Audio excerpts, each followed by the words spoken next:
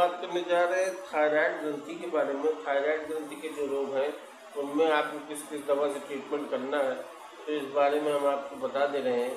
और बहुत पेशेंट है थायराइड ग्रंथि वाले तो मेरी सलाह है कि इस प्रोग्राम को कायदे से देख लें, दवाओं को नोट कर लें। अपना जो दवा खा रहे हैं, खाते रहिए, लेकिन एक घंटे के अंतर से होम्योपैथी भी कर लीजिए। कुल मिला ठीक इसी से होना है, आराम भले आप किसी भी दवा से मिलता हो, लेकिन जड़ से ठीक होगा इसी दवा से, और कोई दूसरा विकल्प भी नहीं है आपके पास इसलिए इसको विशेष ध्यान से देख लें और समझ लें, और किसी होम्योपैथिक या किसी पैथी के डॉक्टर पर डिपेंड होकर के अपना ट्रीटमेंट न करें, अपने से दवा सर्च करके अपना ट्रीटमेंट करें, बुक्स ले आए, पढ़ें, अपने मर्ज की गहराई को समझें और बताई गई दवाएँ वन बाय वन करके यूज़ करें। और दवा सस्ते दर पर खरीदने की कोशिश करें होलसेल रेट लगवाने की कोशिश करें, अपना अप्रोच बना करके कम से कम पैसे में ही इलाज करें। इलाज करने में ज़्यादा पैसा व्यर्थ न करें अब हम आपको ट्रीटमेंट बताने जा रहे हैं। सबसे पहली दवा, गले में तपेदिक की गांठें। तो टूबरकुलिडम बोविस्टा को 200 से 1 एम पोटेंसी या सी एम पोटेंसी में दिया जा सकता है। केवल यही दवा ग्रंथियों की सूजन का इलाज करने में काफ़ी हो सकती है। यदि यह दवा फेल हो जाए तो अन्य दवाओं को आजमाएँ तो दोस्तों, इसका पहले 200 पोटेंसी देना चाहिए और 15 दिन इंतज़ार करना चाहिए।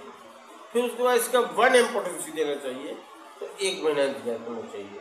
और उसके बाद इसका सी एम पोटेंसी दे करके और फिर 20-25 दिन इंतज़ार करना चाहिए। ये अकेले ही इस दवा से आपका थायराइड ग्रंथि का प्रॉब्लम, गांठ जो है, गले की, गले में तपेदिक की गांठें तो इस इस दवा को आप 200 वन एम और सी एम पोटेंसी इसकी यूज़ करें। केवल आपको 10-10 मिनट में तीन खुराक लेनी है। सबसे पहले आप 200 हंड्रेड पोटेंसी ले लें 10-10 मिनट में तीन खुराक, फिर उसके 15 दिन के बाद वन एम पोटेंसी ले लें। और फिर उसके 20-25 दिन, एक महीने के बाद आप उसकी सी एम पोटेंसी ले लें। तो ये दवा अकेले अपने आप में सक्षम है, उसको ठीक कर पाएँगे अगली दवा बता रहा हूँ, कलकेरिया आयोड। इस दवा को 30 पोटेंसी में दिन में तीन बार दिया जा सकता है। इसके साथ ही टूबर कुलिनम बो का भी मध्यवर्ती दवा के रूप में 200 पोटेंसी में हर माह दिया जाना जारी रखा जा सकता है। तो जैसे कि मैंने टूबरकुलिनम बताया है तो टूबरकुलिनम को लेने के 24 घंटे के बाद कलकेरिया आयोड दवा शुरू कर सकते हैं। जैसे कि आज आपने टूबरकुलिनम लिया तो कम से कम ये चौबीस अड़तालीस घंटा बीत जाए, छत्तीस घंटा बीत जाए, उसके बाद आप कलकेरिया आयोड दवा थर्टी पोटेंसी में दिन में तीन बार ले सकते हैं। ये इसके सहयोगी दवा के रूप में बताया गया। इसके बाद मेरा कहने मतलब कलकेरिया आयोड जब चलाएँगे, तब भी आप टूबरकुलिनम चलाते रहेंगे, इस बात का ध्यान रखें। जब आप कलकेरिया आयोड चलाने लगेंगे, पहले आप टूबर टूबरकुलिनम चलाए, पंद्रह दिन बाद फिर उसको वन एम पोटेंसी लिए, फिर सी एम पोटेंसी लिए, फिर आप जब कलकेरिया आयोड चालू करेंगे, या पहले से ही चालू कर देते हैं तो भी टूबर टूबरकुलिनम चलती रहेगी, और बाद में चालू करते हैं तो भी टूबरकुलिनम चलती रहेगी। इसके बाद है कलकेरिया फ्लोर ग्लैंड्स का इंड्यूरेशन व इनफिल्ट्रेशन सेलुलर तथा बोनी फॉर्मेशंस पत्थर की तरीके से कठोर ग्लैंड, ग्लैंड्स, कार्टिलेजेस में राइस बॉडीज तो ये कलकेरिया फ्लोर दवा यहाँ पर बताई गई है। हड्डियों के मामले में बताया मैंने आपको कई जगह तो वही बात फिर बता रहा हूँ। कलकेरिया फ्लोर दवा यहाँ पर बताई गई है। पत्थर की तरीके से कठोर ग्लैंड्स में तो वही काम कर है वहाँ पर। इसके बाद है बेराइटा आयोड जब ग्लैंड्स की सूजन के साथ साथ टांसिलों में भी सूजन हो तो बेराइटा आयोड दवा देनी चाहिए। इसके बाद हीपर सल्फ। लिम्फेटिक ग्लैंड्स के आकार में वृद्धि होना जो कड़ी होती है, तथा इसमें से मवाद नहीं निकलता। बाद में आने वाले सर्दी के मौसम में इनमें से मवाद निकल सकता है। तो हीपर सल्फ़र दवा इस्तेमाल करनी चाहिए। इसके बाद है सिस्टस कैन। ग्लैंड्स में सूजन तथा मवाद निकलना यह दवा कैरीज को व पुराने अल्सरों को ठीक करती है। गर्दन की ग्लैंड्स बड़ी हो जाती है, जैसे कि रस्सी में गांठें लगी हो। तो सिस्टर स्कैन दवा यूज़ करनी चाहिए। थायराइडिन, थायराइड ग्लैंड्स के विकास न होने से या इनको ऑपरेशन द्वारा निकाल दिए जाने से उत्पन्न रोग तो इस दवा को थर्टी डेल्यूशन में करीब तीन महीने तक लगातार देना चाहिए। इसके बाद है काली आयोड, इंडोलेंट ग्लैंड्स, जिनके किनारे कड़े हों व उनमें सूजन हो ग्लैंड्स में दही सरीखी, पतली व बदबूदार पीप निकलती है। Atrophy of glands. कड़े होने से पूर्व सूजन सिफिलिटिक तो काली आयोग दवा दी जाए इसके बाद है काली म्यूर। उभड़ा हुआ व गड्ढेदार गर्दन, चेहरा व मुँह पर फुंसी सूजन के बाद लिम्फेटिक एफ्यूजन। तो ये दवा काली म्यूर दी जाएगी।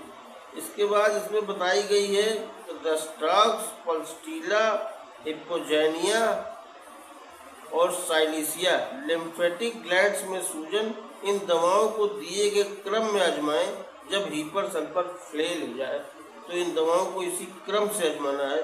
पहले रस्टाक्स आजमाना है, फिर पस्टीला फिर हिपोजेनिया फिर साइलिसिया इसके बाद है फेरम फॉस लिम्फेटिक ग्लैंड्स की सूजन थोड़ी सी भी उत्तेजना से चेहरे पर गहरे लाल रंग की सुर्खी आ जाती है। माहवारी बहुत अधिक बार तथा बहुत अधिक मात्रा में होती है। एनीमिया की शिकायत है तो फेरम फॉस दवा दी जाती है। इसके बाद इसमें अगली दवा बताई गई है, फास्फोरस। कमज़ोर व्यक्तियों में ग्लैंड्स की बीमारियाँ, जो कि डायरिया व पसीने आने से पीड़ित है। तो उसको फास्फोरस दवा से आराम मिलेगा। इसके बाद है आयोडाइन। थायराइड ग्रंथि में सूजन अथवा वृद्धि, मैस्ट्रिक मैसेट्रिक ग्रंथियों को गांठों के रूप में अनुभव किया जा सकता है। रोगी दुबला, पतला व एनिमिक होता है। सब मैक्सिलरी ग्लैंड्स की सूजन थोड़ी सी भी मेहनत करने से दिल में धड़कन, ग्लैंड्स के आकार में वृद्धि, जबकि शरीर मुरझाता जाता है।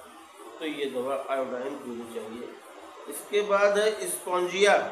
ग्लैंड्स में खुजली, सूजन तथा इंड्यूरेशन खुश्की, गर्मी व बेचैनी। तो स्पॉन्जिया दवा देनी चाहिए। उसके बाद है लाइकोपस वीर। ग्लैंड्स की सूजन के साथ दिल के स्पष्ट रूप के लक्षण।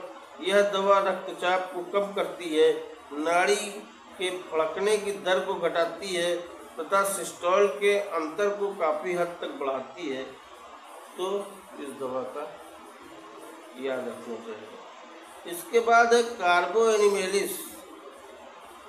कार्बो एनिमल्स, गले, स्तन तथा एक जिला की ग्लैंड्स, गुलाबी व कठोर बन जाती है तथा इनमें नरम होने अथवा इनमें से पीप निकलने की कोई प्रवृत्ति नहीं होती है। ग्लैंड्स बहुत अधिक बड़ी नहीं होती है लेकिन वे कड़ी होती हैं तथा इनमें जलन नहीं होती। मानो कोयले की आग जल रही हो, यह कैंसर के जितनी रोगों को भी ठीक करती है। तो इस दवा को यहाँ पर कार्बो एनिमल्स का ध्यान रखना चाहिए। और इसमें आखिरी दवा बताई गई है, कोनियम। कोनियम आखिरी दवा बताई गई है दोस्तों। इसमें ग्रंथियाँ कठोर व दुखने वाली हो जाती हैं। बाहों के नीचे की गांठों में जलन इन्फ्लेम होती है, तथा अल्सर, अल्सरेट करती है, गर्दन में ग्रोइंस में तथा पेट की ग्रंथियाँ बढ़ जाती हैं ग्लैंड्स में लिम्फेटिक्स की तरह सूजन हो जाती है, जैसे कि गांठों की जंजीर हो तो दोस्तों कोनियम दवा लेनी चाहिए। तो ये जो है थायराइड ग्रंथि के रोगों की दवाई मैंने आपको बताई है, उनको आप नोट कर लें। और इस बारे में और भी प्रोग्राम बनाऊँगा। तो जिस किसी भाई को इसमें से कोई लक्षण मैच कर रहा हो तो वो अपना ट्रीटमेंट आराम से शुरू कर सकते हैं। और जिसका लक्षण नहीं मैच कर रहा, उसको और भी बातें बताई जाएँगी आगे सीज़न में। फ़िलहाल मैंने ये थायराइड ग्रंथ के रोग के बारे में बता दिया। और ये दवाइयाँ आप नोट कर लो। और ये सब काम करने वाली और अच्छी दवाइयाँ हैं दोस्तों। इसमें जो है आपका थायराइड ग्रंथि के रोगों का पूरा इलाज है और जिस किसी भाई को इस टाइप की शिकायत है, वो अपना ट्रीटमेंट कर लो। शुभकामनाओं के साथ मिलते हैं अगले वीडियो में।